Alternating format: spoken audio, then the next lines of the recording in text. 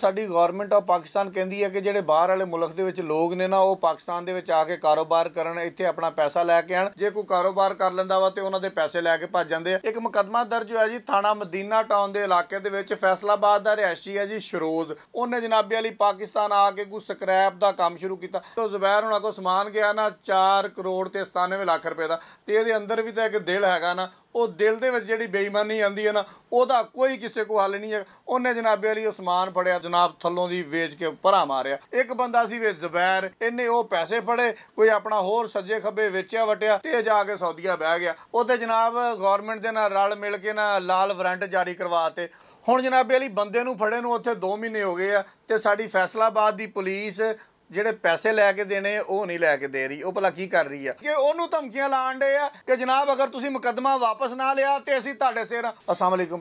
ਅੱਛਾ, ਇੱਕ ਪਾਸੇ ਤਾਂ ਸਾਡੀ ਗਵਰਨਮੈਂਟ ਆਫ ਪਾਕਿਸਤਾਨ ਕਹਿੰਦੀ ਹੈ ਕਿ ਜਿਹੜੇ ਬਾਹਰ ਵਾਲੇ ਮੁਲਕ ਦੇ ਵਿੱਚ ਲੋਕ ਨੇ ਨਾ, ਉਹ ਪਾਕਿਸਤਾਨ ਦੇ ਵਿੱਚ ਆ ਕੇ ਕਾਰੋਬਾਰ ਕਰਨ, ਇੱਥੇ ਆਪਣਾ ਪੈਸਾ ਲੈ ਕੇ ਆਣ।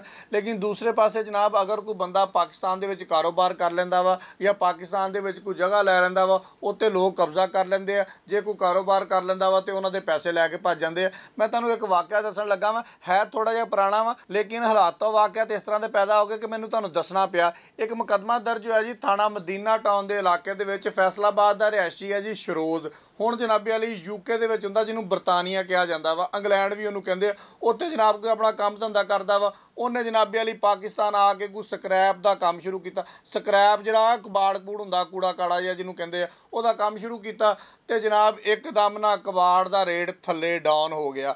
ਉਹਨੇ ਜਨਾਬੇ ਵਾਲੀ ਆਪਣੇ ਕਿਤੇ ਯਾਰ ਬੇਲੀ, ਜ਼ੁਬੈਰ ਸੀ, ਉਹਦਾ ਕੋਈ ਬੇਲੀ। ਉਹਨੂੰ ਕਿਹਾ, ਯਾਰ, ਮੇਰੇ ਕੋ ਗੋਦਾਮ ਨਿੱਕਾ ਵਾ, ਆਪਣੇ ਗੋਦਾਮ ਦੇ ਵਿੱਚ ਨਾ ਮੇਰਾ ਕੋਈ 4 ਕਰੋੜ ਤੇ 97 ਕੁ ਲੱਖ ਰੁਪਏ ਦਾ ਨਾ ਸਮਾਨ ਰੱਖ ਲਾ ਤੇ ਜਨਾਬ ਜਦੋਂ ਰੇਟ ਮਾੜਾ ਜਿਹਾ ਅਪ ਹੋਏਗਾ ਤੇ ਮੈਂ ਤੇਰੇ ਕੋ ਆਪਣਾ ਸਮਾਨ ਵੱਲ ਲੈ ਕੇ ਤੇ ਵੇਚ ਵਟ ਲਵਾਂਗਾ, ਕੋਈ ਪੈਸੇ ਲੈ ਲਵਾਂਗਾ ਜਾਂ ਜੋ ਵੀ ਕਰ ਲਵਾਂਗਾ।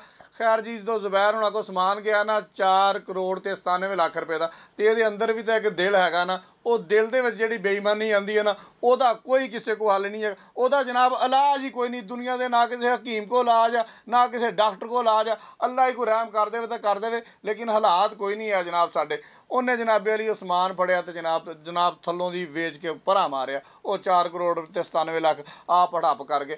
ਖੈਰ ਜੀ, ਸਾਡੀ ਫੈਸਲਾਬਾਦ ਦੀ ਪੁਲਿਸ ਦਾ ਇੱਕ ਅੱਛਾ ਕੰਮ ਆ ਕਿ ਜਨਾਬ 406 ਦਾ ਪਰਚਾ ਦੇ ਕੇ ਤੇ ਜਨਾਬ ਇਹਨਾਂ ਨੇ ਕਿਹਾ ਜੀ, ਹੁਣ ਅਸੀਂ ਬੰਦੇ ਫੜ ਲੈਨੇ ਆ ਖੈਰ ਜੀ, ਇੱਕ ਬੰਦਾ ਉਹਦੇ ਜੋ ਅਰੈਸਟ ਹੋਇਆ ਉਹਨੇ 1 ਕਰੋੜ ਤੇ 10 ਲੱਖ ਰੁਪਇਆ ਦੇਤਾ, ਉਹਨੇ ਕਿਹਾ ਜੀ, ਇੰਨਾ ਹੀ ਮੇਰੇ ਖਾਤੇ ਪਿਆ ਸੀ ਆ ਲਓ ਜੀ। ਦੂਸਰਾ ਬੰਦਾ ਅਰੈਸਟ ਹੋਇਆ ਜੀ, ਉਹਨੇ 1 ਕਰੋੜ ਤੇ 17 ਲੱਖ ਰੁਪਇਆ ਦੇਤਾ, ਉਹਨੇ ਕਿਹਾ ਜੀ ਆ ਲਓ। ਇੱਕ ਬੰਦਾ ਸੀ ਵੇ ਜ਼ਬੈਰ, ਇਹ ਥੋੜਾ ਜਿਹਾ ਤੇਜ਼ ਸੀਗਾ, ਇਹਦੀ ਜਨਾਬੇ ਵਾਲੀ ਸਟੀਲ ਮਾੜੀ ਮੋਟੀ ਆਪਣੀ ਮਿੱਲ ਵੀ ਬਣਾਈ ਹੋਈ ਸੀਗੀ ਇਹਨੇ ਉਹ ਪੈਸੇ ਫੜੇ, ਕੋਈ ਆਪਣਾ ਹੋਰ ਸੱਜੇ ਖੱਬੇ ਵੇਚਿਆ ਵਟਿਆ, ਤੇ ਜਾ ਕੇ ਸੌਦੀਆ ਬਹਿ ਗਿਆ। ਆਪਣੇ ਨਿਆਣੇ ਵੀ ਲੈ ਗਿਆ, ਇਹਨੇ ਕਿਹਾ ਜੀ, ਜਾਓ, ਮੇਰੇ ਕੋਲ ਜੋ ਤੁਹਾਡੇ ਕੋਲ ਹੁੰਦਾ ਕਰ ਲਓ, ਮੈਂ ਨਹੀਂ ਜੀ ਹੁਣ ਵਾਪਸ ਆਣਾ ਉਹ ਵਿਚਾਰਾ ਜਿਹੜਾ ਸ਼ਰੋਜ਼ ਬਾਹਰਲੇ ਮੁਲਕ ਇੱਥੇ ਆ ਕੇ ਉਹਨੇ ਕਾਰੋਬਾਰ ਕੀਤਾ ਸੀਗਾ, ਉਹਦੇ ਪੈਸਿਆਂ ਦੇ ਨਾਲ ਇਹ ਭਾਈ ਜਾ ਕੇ ਸੌਦੀਆ ਬਹਿ ਗਿਆ, ਹੁਣ ਸੌਦੀਆ ਆਪਣੀਆਂ ਮੌਜਾਂ ਕਰਦਾ ਪਿਆ ਸੀਗਾ। ਖੈਰ ਜੀ, ਫੈਸਲਾਬਾਦ ਪੁਲਿਸ ਨੇ ਫਿਰ ਇੱਕ ਚੰਗਾ ਕੰਮ ਕੀਤਾ। ਤੇ ਸ਼ਰੋਜ਼ ਦੇ ਨਾਲ ਰਲ ਮਿਲ ਕੇ ਨਾ, ਉਹ ਜਿਹੜੇ ਇੰਟਰਪੋਲ ਦੇ ਜ਼ਰੀਏ ਕੋਈ ਰੈੱਡ ਵਾਰੰਟ ਕੋਈ ਲਾਲ ਵਾਰੰਟ ਹੁੰਦੇ ਆ ਉਹ ਉਹਤੇ ਜਨਾਬ ਗਵਰਨਮੈਂਟ ਦੇ ਨਾਲ ਰਲ ਮਿਲ ਕੇ ਨਾ ਲਾਲ ਵਾਰੰਟ ਜਾਰੀ ਕਰਵਾਤੇ ਹੁਣ ਜਨਾਬੇ ਵਾਲੀ ਉਸ ਬੰਦੇ ਨੂੰ ਸਾਊਦੀ ਅਰਬ ਦੇ ਵਿੱਚ ਉਹਨਾਂ ਨੇ ਰੈੱਡ ਵਾਰੰਟ ਵਾਲਿਆਂ ਨੇ ਇੰਟਰਪੋਲ ਵਾਲਿਆਂ ਨੇ ਜਨਾਬ ਗ੍ਰਿਫਤਾਰ ਕਰ ਲਿਆ। ਗ੍ਰਿਫਤਾਰ ਕਰਕੇ ਤੇ ਉੱਥੇ ਬਿਠਾ ਲਿਆ।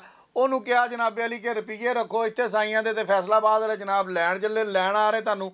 ਤੇ ਉਹਨੇ ਕਿਹਾ, ਜਨਾਬ, ਮੈਨੂੰ ਇੱਕ ਵਾਰੀ ਮਾਫੀ ਦਿਓ, ਮੈਂ ਜਾਂਦਾ ਕਿਤੇ ਨਹੀਂ। ਰੈੱਡ ਵਾਰੰਟ ਦਾ ਇੱਕ ਕੋਈ ਅਸੂਲ ਹੁੰਦਾ ਵਾ ਕਿ ਇੱਕ ਵਾਰੀ ਬੰਦੇ ਨੂੰ ਨਾ ਛੱਡ ਦਿੰਦੇ ਆ ਕਿ ਤੂੰ ਐਸੇ ਮੁਲਕ ਦੇ ਵਿੱਚ ਰਹਿਣਾ, ਇੱਥੋਂ ਭੱਜ ਨਹੀਂ ਸਕਦਾ। ਉਹਨਾਂ ਨੇ ਕਿਹਾ, ਜੀ, ਠੀਕ ਆ। ਉਹਨਾਂ ਨੇ ਛੱਡ ਦਿੱਤਾ, ਉਸੇ ਮੁਲਕ ਦੇ ਵਿੱਚ ਰਹਿੰਦਾ ਰਹਿੰਦਾ ਉਹਨੇ ਕਿਹਾ, ਜੀ, ਮੈਂ ਬਹਿਰੀਨ ਨੂੰ ਨਿਕਲ ਜਾਣਾ ਚੋਰੀ ਛੁਪੇ ਨਾ ਇਹਦੇ ਥੱਲੋਂ ਦੀ ਬਹਿਰੀਨ ਦਾ ਵੀਜ਼ਾ ਲਵਾ ਲਿਆ। ਤੇ ਜਨਾਬ ਜਦੋਂ ਫਿਰ 에ਅਰਪੋਰਟ ਤੇ ਗਿਆ, ਉਹਨਾਂ ਨੇ ਫਿਰ ਧੌਣ ਤੋਂ ਫੜ ਲਿਆ। ਉਹਨਾਂ ਕਿ ਚੋਰੀ ਸਾਹਿਬ, ਇੱਧਰ ਆਓ। ਉਹਨਾਂ ਦਾ ਪਹਿਲੇ 2 ਕਰੋੜ ਦੇ ਜਿਹੜੇ ਪੈਸੇ ਰਹਿੰਦੇ, ਉਹ ਦਿਓ, ਫਿਰ ਬਹਿਰੀਨ ਨੂੰ ਜਾਇਓ।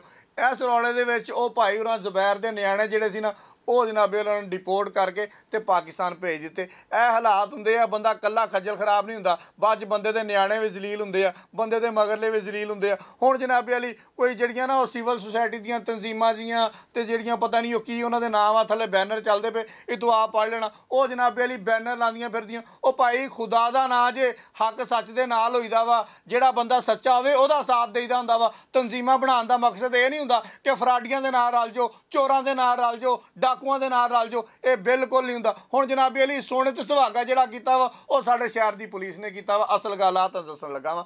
ਹੁਣ ਜਨਾਬੀ ਅਲੀ ਬੰਦੇ ਨੂੰ ਫੜੇ ਨੂੰ ਉੱਥੇ 2 ਮਹੀਨੇ ਹੋ ਗਏ ਆ ਤੇ ਸਾਡੀ ਫੈਸਲਾਬਾਦ ਦੀ ਪੁਲਿਸ ਜਿਹੜੇ ਪੈਸੇ ਲੈ ਕੇ ਦੇਣੇ, ਉਹ ਨਹੀਂ ਲੈ ਕੇ ਦੇ ਰਹੀ। ਉਹ ਭਲਾ ਕੀ ਕਰ ਰਹੀ ਆ? ਉਹ ਜਨਾਬੇ ਅਲੀ ਕੋਈ ਸਿਆਲਕੋਟ ਦਾ ਕੋਈ ਸਿਆਸਤਦਾਨ ਹੈਗਾ ਵਾ, ਪਤਾ ਨਹੀਂ ਵਡੇਰਾ ਹੈਗਾ ਵਾ, ਪਤਾ ਨਹੀਂ ਕੀ ਹੈਗਾ ਵਾ। ਉਹ ਜਨਾਬੇ ਅਲੀ ਸਾਡੇ ਫੈਸਲਾਬਾਦ ਦੇ ਪੁਲਿਸ ਦੇ ਆਲਾ ਅਫਸਰਾਂ ਨੂੰ ਫੋਨ ਕਰਦਾ ਵਾ ਤੇ ਸਾਡੇ ਫੈਸਲਾਬਾਦ ਦਾ ਇੱਕ ਨਿਹਾਇਤ ਹੀ ਸ਼ਰੀਫ ਤੇ ਸਾਦਾ ਜਿਹਾ ਡੀਐਸਪੀ ਆ।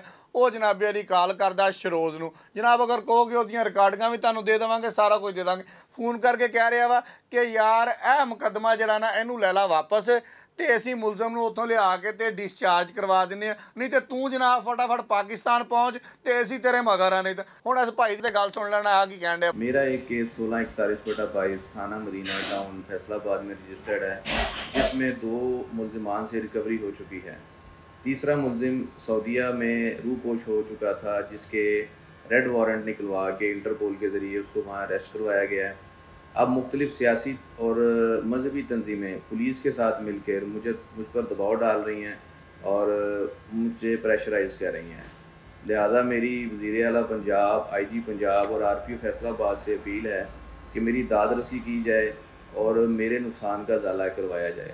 ਯਾਨੀ ਕਿ ਉਹਨੂੰ ਧਮਕੀਆਂ ਲਾਣ ਡੇ ਆ ਕਿ ਜਨਾਬ ਅਗਰ ਤੁਸੀਂ ਮੁਕੱਦਮਾ ਵਾਪਸ ਨਾ ਲਿਆ ਤੇ ਅਸੀਂ ਤੁਹਾਡੇ ਸਿਰ ਆ। ਉਹ ਜਨਾਬ ਇਸ ਤਰ੍ਹਾਂ ਨਹੀਂ ਹੁੰਦਾ ਅਗਰ ਕੋਈ ਬਾਹਰ ਵਾਲੇ ਲੋਕ ਫੈਸਲਾਬਾਦ ਦੇ ਵਿੱਚ, ਪਾਕਿਸਤਾਨ ਦੇ ਵਿੱਚ, ਪੰਜਾਬ ਦੇ ਵਿੱਚ ਪੈਸੇ ਇਨਵੈਸਟ ਕਰ ਰਹੇ ਆ, ਕੋਈ ਆਪਣਾ ਕਾਰੋਬਾਰ ਕਰ ਰਹੇ ਆ, ਤੇ ਖੁਦਾ ਦਾ ਨਾਮ ਆ, ਕੋਈ ਇਦਾਂ ਦਾ ਮਾਹੌਲ ਪੈਦਾ ਕਰੋ ਕਿ ਲੋਕ ਇੱਥੇ ਆ ਕੇ ਇਨਵੈਸਟਮੈਂਟ ਕਰਨ, ਲੋਕ ਇੱਥੇ ਆ ਕੇ ਕਾਰੋਬਾਰ ਕਰਨ, ਲੋਕ ਇੱਥੇ ਸਾਡੇ ਪਾਕਿਸਤਾਨ ਦੇ ਖੁਸ਼ਹਾਲ ਹੋਣ। ਲੇਕਿਨ ਅਸੀਂ ਕਿਹੜੇ ਪਾਸੇ ਤੁਰ ਪਏ ਆ ਕਿ ਜਿਹੜਾ ਬੰਦਾ ਪਾਕਿਸਤਾਨ ਦੇ ਵਿੱਚ ਆ ਕੇ ਇਨਵੈਸਟਮੈਂਟ ਕਰਦਾ ਵਾ, ਜਿਹੜਾ ਆ ਕੇ ਇੱਥੇ ਪ੍ਰਾਪਰਟੀ ਖਰੀਦਦਾ ਵਾ, ਉਹ ਜਨਾਬ ਭਰਾ ਭੈਣਾਂ ਦੀਆਂ ਤੇ ਕ- ਪ੍ਰਾਪਰਟੀਆਂ ਤੇ ਕਬਜ਼ੇ ਕਰੀ ਜਾਂਦੇ ਆ। ਜਨਾਬ ਫਰਾਡੀਏ, ਜਨਾਬ ਲੋਕਾਂ ਦੇ ਨਾਲ ਫਰਾਡ ਕਰੀ ਜਾਂਦੇ।